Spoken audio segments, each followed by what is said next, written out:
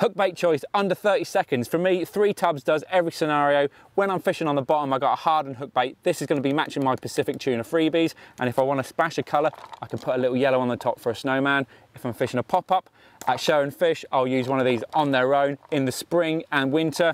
And if I'm fishing in the summer months when they've seen too many hi-viz or I'm fishing over a big spread, I got the Pacific tuna, ball pop-ups, Three tubs for every scenario.